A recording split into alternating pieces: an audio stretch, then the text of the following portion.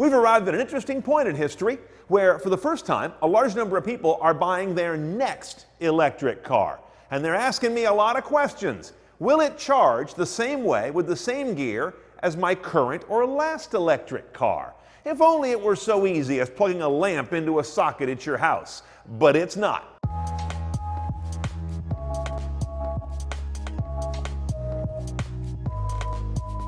Okay, the first thing I got to break to you is that something you've thought all this time is not true. That thing on the wall in your garage or the one you plug into at the mall is actually probably not a charger.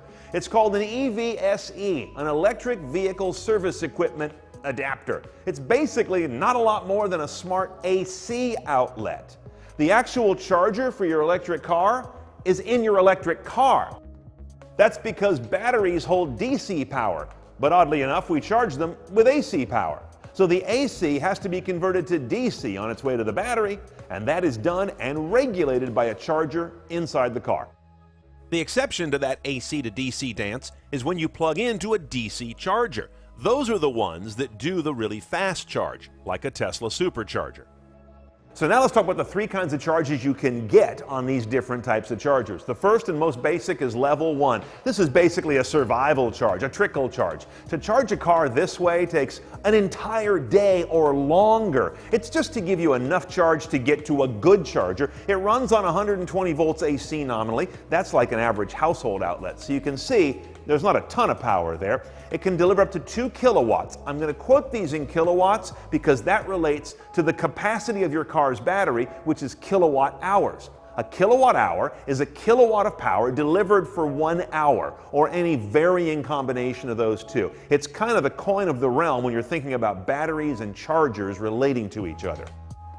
Things get really interesting when you step up to a level 2 charger. Now we're talking about the broad majority of real world EV life. Now, level 2 runs off 240 volt electrical circuits, also commonly found in your home, like an electric dryer or an electric range, but also found widely in commercial installations. This is not too hard to find, but it does give you a ton more power, up to 90 kilowatts, which you can see is dramatically more than we saw with level 1. When you see a car like a Nissan Leaf say a full charge can be done overnight in seven or eight hours, level two is what they're talking about. The ultimate level is level three, and this one's also kind of an odd one. Now, as you've noticed, our levels have been taking the voltage of the previous level and doubling it, and as a result, level 3, yes, can be a 480 volt AC circuit going into the charger of your car. We keep doubling the available voltage. But typically, that's not what it is in the US. A level 3 charge normally refers to a DC charger. So this is a terminal you plug into that is already delivering DC to your car. A messy, inefficient conversion no longer has to happen on the way to the battery. That is part of why it's able to charge the battery dramatically faster. It's talking the same language, and it's got a ton of power to do so. DC level 3 charging is a key part of the main trend in acceptability of EVs right now because it universally takes the charge time from being measured in hours to being measured in minutes. That is a hugely better message in the marketplace. Now we got a decent look at the kinds of juice you can get into your EV. It's time to look at the rather bewildering array of connectors that do that, starting with the granddaddy of them all, and this is all for US market by the way. Asia, Europe, they got their own connectors, but I'm talking US. J1772, sexy name, isn't it? That's the technical spec it was given by the Society of Automotive Engineers, and this is a very solid standard. What you see here are five pins. If you look at one of these connectors end on, this is what you'll see. The three big ones are line, neutral, and ground, just like a three-prong plug in your house. And these two smaller pins down here are basically communications pins. One makes sure that this thing is plugged into your car securely, and the other one is kind of saying stop or go in terms of sending electricity into the charger. Now note, there is nothing in here that provides DC fast charging. These can only go up to level 2 AC charging. So to add DC fast charging, which I just told you was such a hot topic, they've come up with something called CCS. This is a stepchild of 1772. As you can see, there's your 1772 at the top, and they have literally grafted on a pair of high current additional pins for DC positive and DC negative on the same handle. This, for example, is the same connector Porsche will put in the new Taycan, which promises to raise the bar on charge potency, running up to 350,000 watts through it. Next up, we get to a connector that started in the Japanese EV market and picked up quite a bit of global adoption. It's called the CHAdeMO connector. This is an oddball. Don't even ask me what that name means. Something to do with the time it takes to drink a cup of tea, which is how fast they envision this charging your EV. Something like that. Note you've got two big conductors, two large pins that carry high current plus and minus DC voltage. Then you've got two sets of small four pin quadrants, and all of those are analog or digital communications. So all this does is DC fast. There's no provision in here at all for level 1 or level 2 AC coming into the car. This has become a bit of an orphan, at least in the US, where it's kind of now just relegated to the Nissan Leaf. Nissan's big on this guy. And then, of course, there's Tesla. Tesla has earned the right to do things their own way, in many ways. Luckily, their own charger is about the most elegant connector out there. This is their own proprietary charge connector. And it's a thing of beauty, I got to admit. It's slim, the packaging is nicely done. It's not this horsey, clunky, grafted onto thing like some connectors we've seen.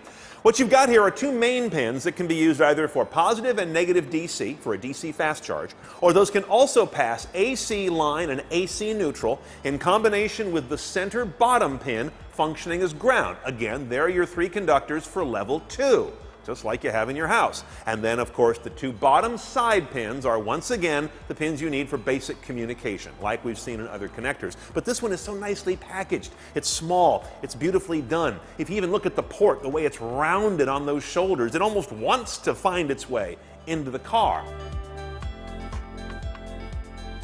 Now, that's all great, except you're not going to find this at the end of any cable of a charging station out at the mall, let's say. So that's where this adapter comes in. This adapter, as you can see, will take the traditional J1772 at the public mall or the grocery store, plug it in there, and turns it into a Tesla plug on the other end. It's very simple, but it's compact and very elegant. Okay, so you say this is all hunky-dory, everything works beautifully on a Tesla, until the asterisks arrive.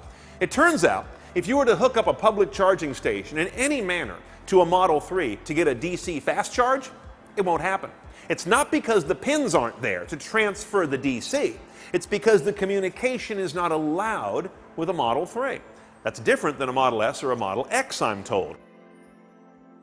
Now, I learned about this little hiccup from some public charging infrastructure companies who told me we can't fast charge a Model 3 because the electrical communication the handshake, the authorization isn't allowed. The theories, and these are theories, are that Tesla has recently made its supercharger network a fee based revenue source. It's not free anymore unless you're grandfathered in. As a result, they want you to bring your charging money their way when you want a DC fast charge, not to the other guys. So there's the world of voltage sources and voltage connectors to charge your EV. The question you have now, I'm sure, is this Hey, Cooley, how does that tell me how fast I can charge my car? It's not that simple because it will depend on the size of your car's battery, measured in kilowatt hours, as we mentioned, and the design of the charger in your car and how aggressively or intelligently it can ram volts into that battery. It varies by vehicle.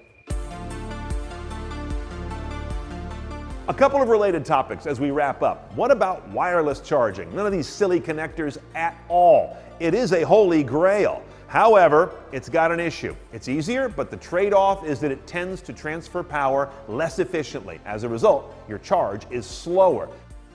There are companies like Plugless that offer adapter kits for a number of EVs if you wanted to retrofit this on and just have a pad in your driveway you park over at night.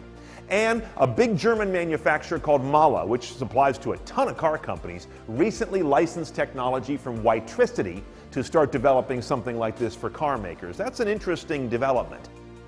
The last question I get in this area frequently is what about battery swapping? This seems perfect, right? You pull into a EV service station and in about three minutes, maybe five, your car gets a battery dropped out and a fully charged fresh one plugged in. What could be wrong with that? Well, it turns out a number of things make it kind of hard to do. Number one is the charge state issue. When you go to a gas station, you can quickly go from whatever level of fuel you have to 100%. It doesn't matter. There's no inefficiency to it. That's the beauty of liquid fuels. When you pull into a charge station and swap your batteries, unless you've run the battery down to almost nothing, which is nerve wracking, you're giving back a battery that has a fair amount of charge in it. And that's kind of an odd management task that isn't very efficient. The other concept is what about universal fit? To have this really scale, Ideally, every EV would use the same battery, just like all of our electronics use either AA or maybe C cells or AAAs. There's universality there. There is not that in the electric car business at all. And thirdly, residual value. A lot of EVs are leased, and even if they're not, you want to know residual value in terms of the total cost of ownership. And when the most valuable single part of the car, is being pulled out and sent off who knows where, it becomes much harder to predict the residual value of the car. Imagine if you didn't know what engine a car was going to come back off lease with. The lessor would say, We got to lower the residual to cover ourselves. That raises your lease payments, and that's not ideal. So, this area was abandoned by a company called Better Place in 2013. Tesla was playing with it. They gave up on it in 2016 in favor of superchargers. NIO, a coming electric autonomous car company out of China, is still big on the idea. So we'll see if it's got some life. So until we get battery swapping or wireless charging, learn the three major kinds of charge level and the four major kinds of charge connector. Kind of get familiar with those in the market because I think you're going to be handling fussy connectors and horsey cables for a while.